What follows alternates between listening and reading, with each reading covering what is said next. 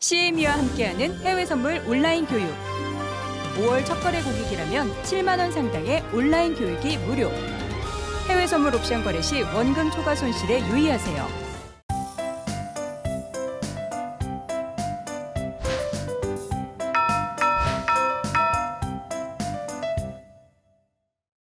네, today 마감 시황 함께 하도록 하죠. 지금 현재 코스피가 2149선의 움직임이 집계가 되고 있습니다. 일단 2150선은 계속 넘겨주기는 하는데 여기서 좀 밀리고 밀리고 그런 흐름도 어제 오늘 좀 나타나고 있는 그런 상황이고요. 코스닥은 일단 쉬어가는 분위기에서 어, 그래도 꾸준하게 흐름은 좀 잡아가고 있는 그런 상황이죠. 740선 741.37포인트 움직임이 집계가 되고 있습니다.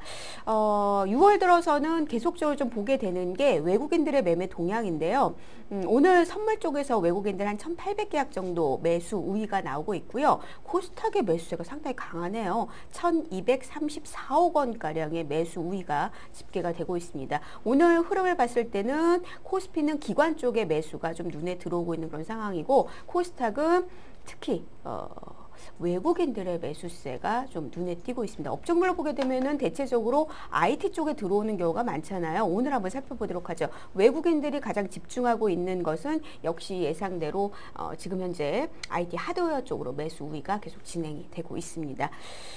글쎄요, 삼성전자 가고 그 다음에 어, 코스닥에서 관련 종목들 움직이고 이렇게 이걸 요즘에 티키타카라고 하더라고요. 그 시장이 이렇게 좀 어, 대화를 하지 않을까 하는 생각도 드는데 그런 흐름은 오늘까지 좀 나타나고 있는 것 같습니다.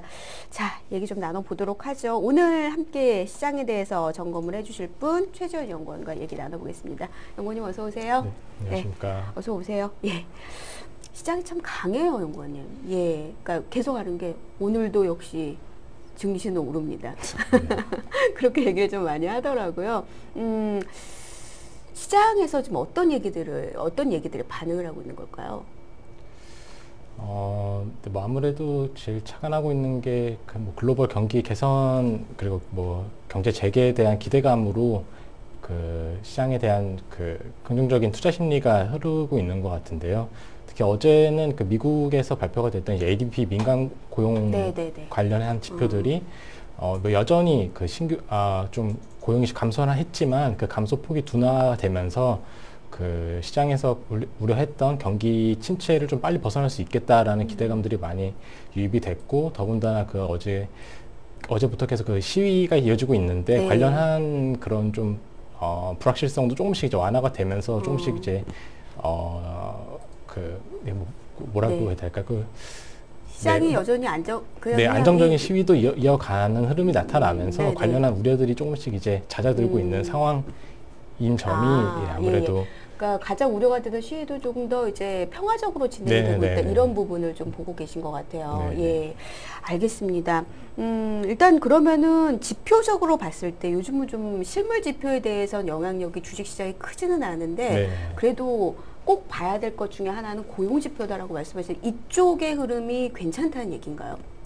네, 예상대로? 네, 예, 시 장에서 우려했던 바보다 이제 조금 네. 더그 회복 탄력이라고 할까요? 그 감소 폭이 조금씩 네. 빠르게 둔화가 되면서 음. 아무래도 그런 점들이 미국에서 조금 시장에서 우려했던 것보다 조금 한 템포 빠르게 경제 재개를 나섰 나섰고 이제 그런 점들이 좀 선반영된 거라고 판단이 되고 있습니다. 네, 알겠습니다. 좀 더 시장의 흐름 좀 더 자세하게 설명을 해주시죠. 예, 예. 네, 말씀드린 것처럼 어제 미국 증시가 이제 조금 강세를 보이면서 끝이 났는데 네. 이런 점들이 우리 증시에도 반영이 되면서 장 초반에 강세 출발을 했습니다. 음. 그 양호한 이제 경기 회복에 대한 가능성이 제기가 되면서 투자 심리가 좀 개선이 됐던 영향이었는데요.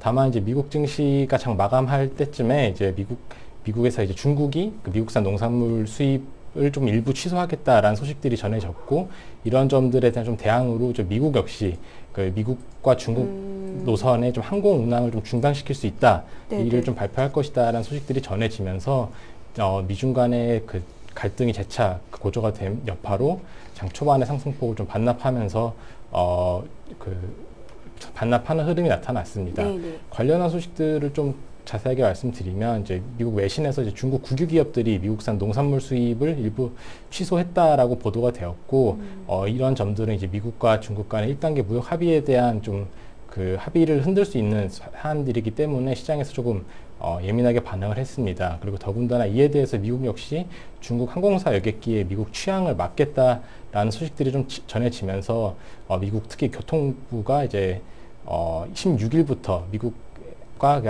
중국의 노선을 좀 한국 노선을 막을 수 있다라고 얘기를 했고 이를 좀 더 이르게 당길 수도 있다라고 좀 위협을 하면서 이러한 점들이 양국 간의 그 마찰을 좀 일으키는 논, 어, 상황이었습니다.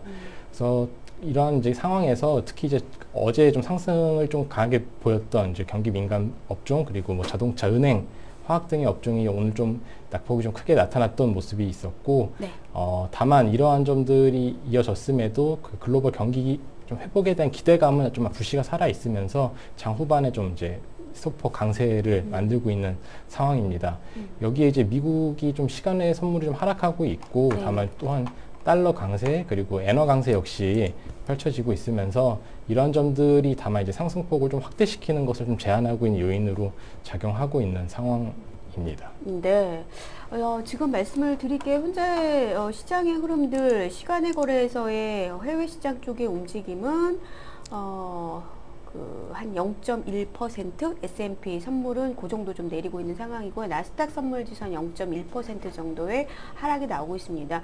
최근 하도 2, 3%씩 막 뛰어내리고 오르고 이런 걸 봐서 그런지 이 정도는 뭐 괜찮은 거 아니냐 이런 생각도 들고 있는데 주식시장도 그렇게 생각을 하고 있는 것 같아요. 달러는 좀 소폭 오르고 있습니다. 소폭 강세가 나오고 있는데 97달러 중반권 수준에서 계속 집계가 되고 있습니다. 제가 해외 쪽을 보고 있다 보니까 대만 쪽의 뭐 수출 동향이라던가 어, 거기도 마이너스 물가 나왔네요. 0.8% 마이너스가 나온 것으로 어, 집계가 되고 있어서 어쨌든 2분기까지는 어, 실물 지표는 계속 안 좋을 것 같다라는 생각은 계속 하게 되고 이거는 뭐 시장에서 다 받아들이고 있는 것 같아요. 이 정도야 뭐 이렇게 생각을 하고 있는 것 같습니다. 현재 동시효과 상황에서는 크게 흔들리는 모습은 좀 나오고 있지는 않아요. 어, 동시효과가 진행이 되고 있는데 오히려 지금 거래소에서 코스피 지수는 2158선의 움직임으로 약 11포인트 정도 의 상승 흐름이 집계가 되고 있는 그런 상황이고요. 코스닥도 살펴보도록 할까요? 약 3포인트 정도의 상승 흐름 나오고 있습니다. 741.42포인트로 현재 움직임 집계가 되고 있습니다. 둘 다 양대 지수 모두 플러스권의 흐름입니다.